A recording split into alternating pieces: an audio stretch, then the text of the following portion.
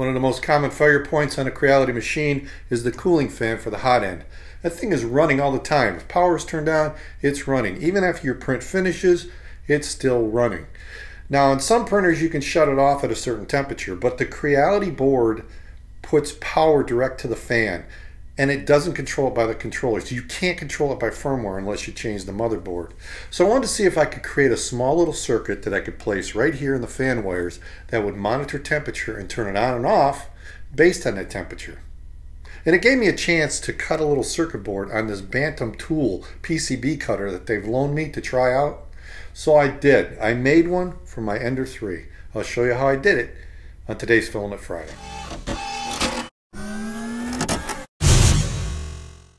Filament Friday is brought to you by these Patreon supporters. Here's the Creality motherboard. It's got three fans connected to it.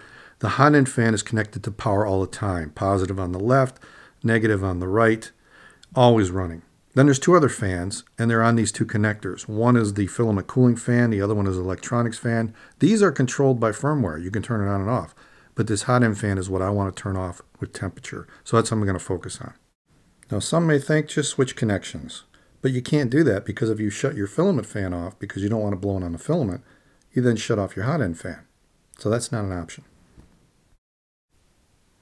So here's the circuit that we normally have. It's 24 volts, positive and negative, and at the other end you've got the 24 volt fan that cools the hot end. Now normally these are connected, positive and negative, but I want to put a switch between them. So first I'll connect power all the way across, but then on the low side or negative side, I'm going to put a transistor.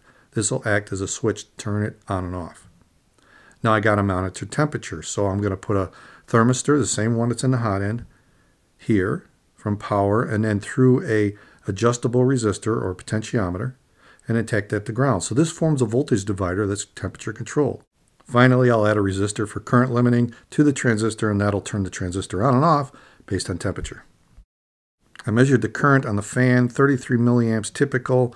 So a 2N4401 with 600 milliamps max current can handle this easily.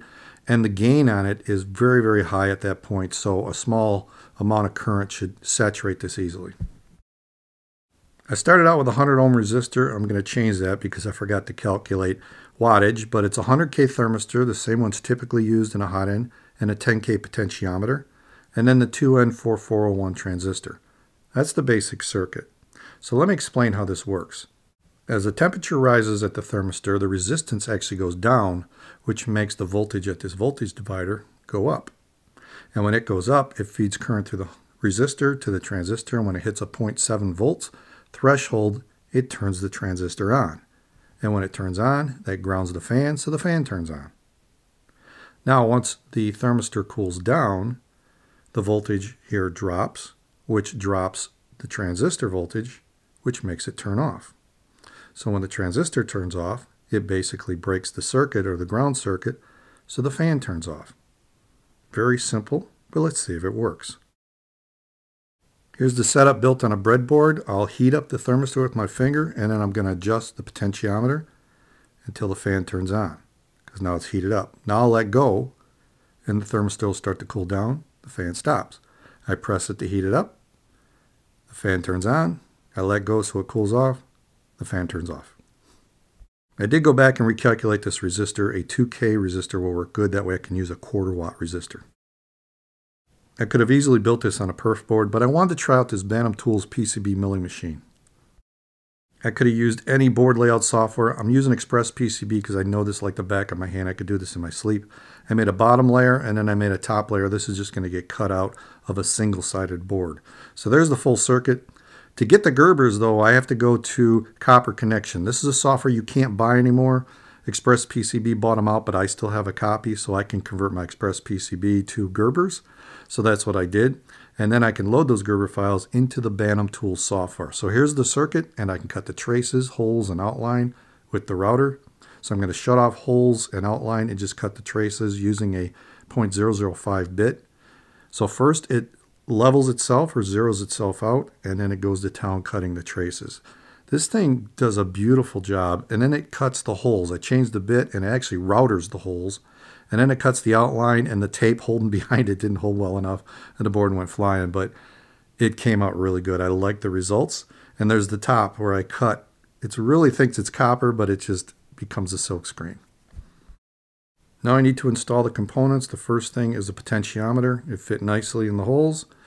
The next step is a resistor that installs right above the potentiometer, and then the transistor is right above that. So once I have these in place, I bent the leads so they don't fall out. Then I need to install the temperature sensor. So I just cut the wires, stripped them, put them in their holes. And then I put this on my 3D printed vise that I use for holding circuit boards. This is a filament Friday from way back. And I just clamp it down and then I can go to town soldering all these pins. Now I had to be careful because this is bare copper. I don't want any shorts anywhere. So I soldered it up. Everything looked good. And then I just need to clip the leads. And this thing was done. I like this better than doing a perf board. I'm going to install this on my Ender 3 Pro. So first I took the cover off so I can get access to the wires. And here's where I'm going to put it, right here midway through the fan wires. So I'll cut those wires in half, and then I'm going to strip the end of it so I can insert it into the board. So both sides get stripped, and then just insert them, bend them, and then I'll solder them up. So here's the power lead coming in, power and ground. Solder those in place, and then the fan wires go at the bottom and then I'll solder those in place.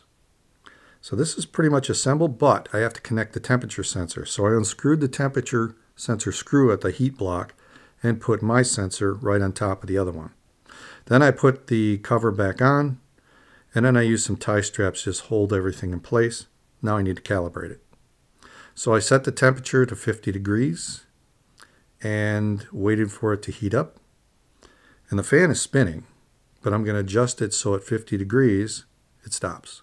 So now I'll run it up to 60 degrees and you can see once it hits, there's some hysteresis in this. So once it hit 59, 60, it turned on.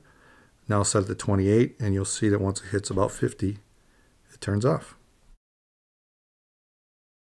Now I want to actually print something, so I'm going to print a Chep cube, and you can see at about 55 degrees it turned on. It printed the Chep cube, and when it was done, at about 50 degrees, it shut off. It's great when things work, and milling it on the Bantam tool definitely made it easier. That was a lot of fun. And getting to use the Bantam tool to cut the circuit board is something I've been wanting to do. It's not an inexpensive tool, but man, it is a lot of fun. And it did a great job cutting that circuit board, and it works. When it cools off, the fan goes off. When it heats up, the fan goes on. But what I may do in the future is instead of doing this, modify it so there's a switch and a relay to shut off the printer when the print is done. That way it shuts the fan off and everything. That may be a better way to go. I've seen a few people doing that, so that's something I want to investigate in the future. So what do you think? Let me know in the comments below.